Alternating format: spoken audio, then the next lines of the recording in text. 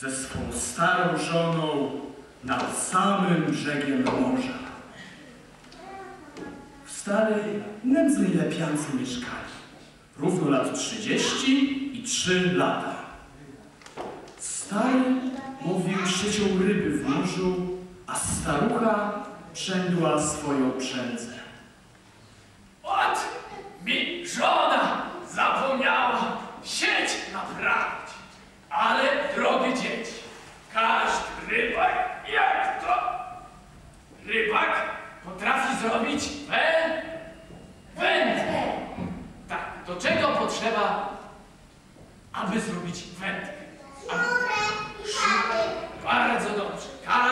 Rybak ma przy sobie i sznurek, i i pat!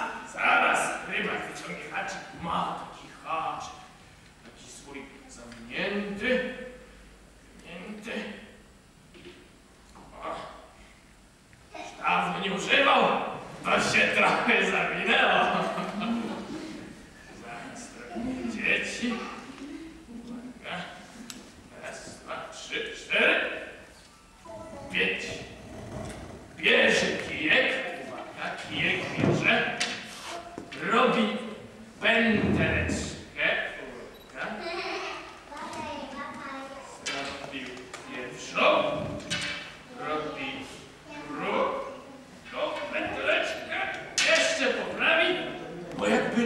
duża, żeby nie uciekła, prawda, żeby rybak nie rybak wstaje, prostuje kości i może paty.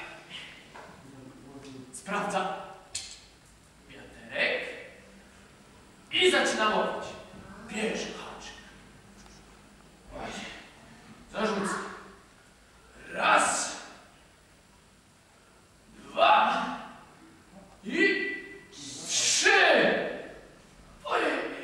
Kiedyś rybak wędkę zarzucił w morze. Złapał tylko jedną rybkę. Ale jaką rybkę? Złotą.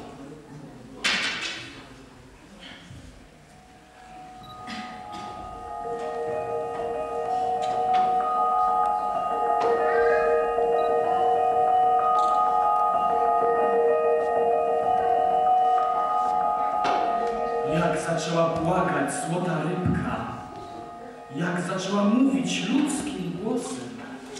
Puść mnie proszę, staruszku, do morza. Cenny wybuch ode mnie dostaniesz. Każdą prośbę twą spełnię w nagrodę. Zrąb się stary. Bardzo się zadziwił. Lat trzydzieści i trzy lata łowię ryby. Ale takiej akcji ja jeszcze nie widział, żeby ryba ludzkim głosem przemówiła. Puścił złotą rybkę do morza i powiedział jej łaskawe słowa. Z Panem Bogiem, złota rybko, wpływaj w swoje morskie głębiny, w chłodnych falach zażywaj swobody, a twojej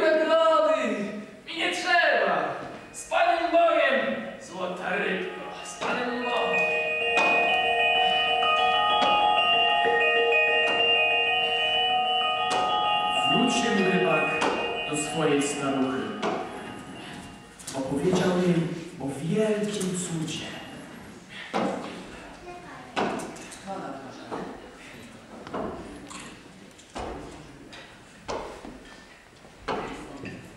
Cześć, starucha!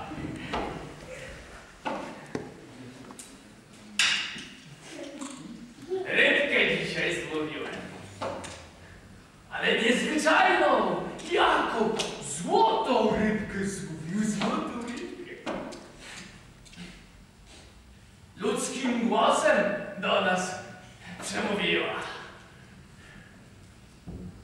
Oj, drogą ceną chciała się wykupić. No, każde życzenie spełnić. Ale ja, że jestem uczciwym rybakiem, nie wziąłem się wziąć żadnej nagrody. Żadnej. Co? No, żadnej. Durniu! O, wykup nie umiałeś wyprosić! Zaraz wracaj i o chatę poproś. Turniu! Poszedł stary więc nad, nad błękitne morze.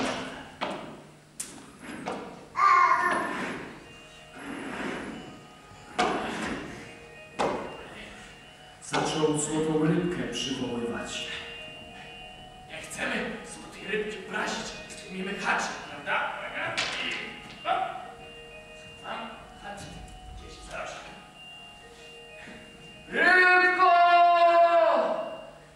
Pomóżcie, bo nie zawołam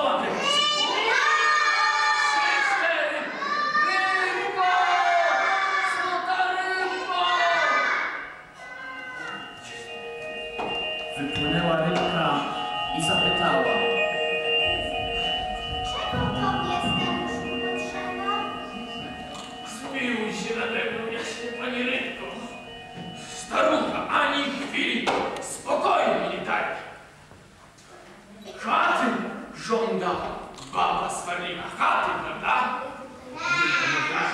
Zmiłuj się, proszę ciebie. Dobrze, nie martw się.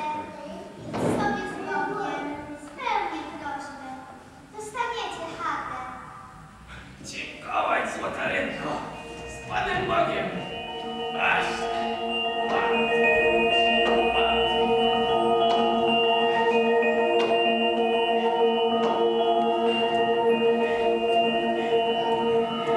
Wrócił stary do swojej lepianki. A z lepianki dawnej ani śladu.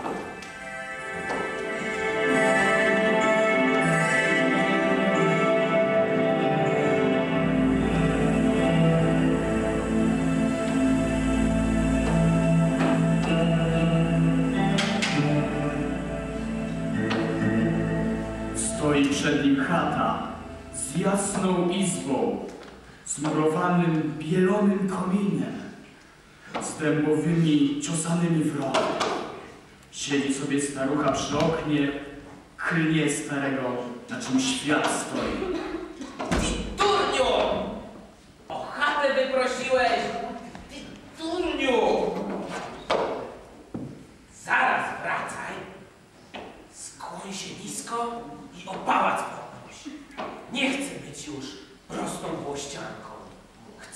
Odtąd rodową szlachcianką. Więc poszedł stary znów nad to błękitne morze.